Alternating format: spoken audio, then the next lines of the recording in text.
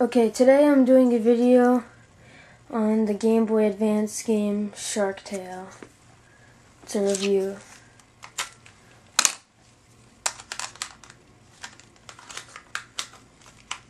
Okay, I'm going to be playing it on my DS Lite.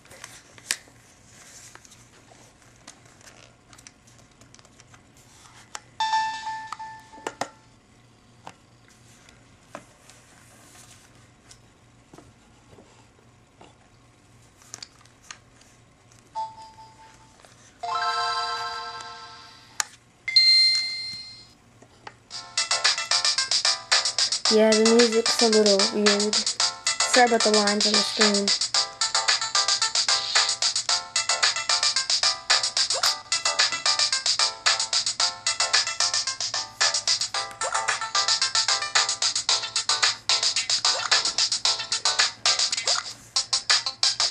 Sorry, let me turn that down a little bit. It's annoying.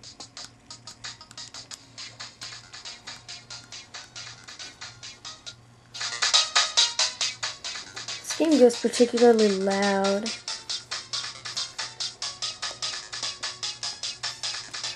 Okay, so pretty much swim around and you punch them and whatnot.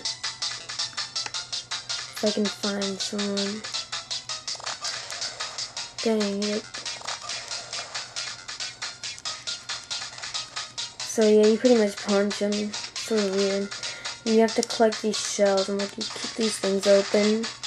And you grab what's inside like time boosts. I'm not very good at this. You kill these crab people. Usually if you get a hit on them, you can just kill them. Crap, there's a whole bunch. I hate these ones, they follow you. Pretty much if you can land a hit once, you can kill him. Darn it. If you get hit, like, a certain amount of times, you die. Okay, I'm not gonna look through the viewfinder this time. It's always lagging.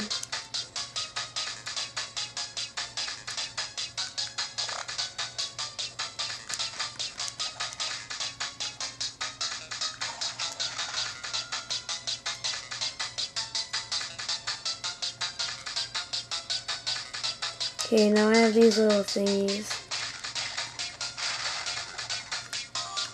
Time boost. Life ring.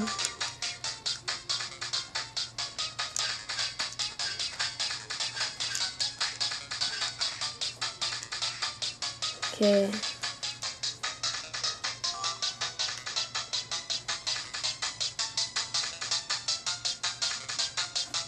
Okay, I'm going to stop it and I'm just going to talk.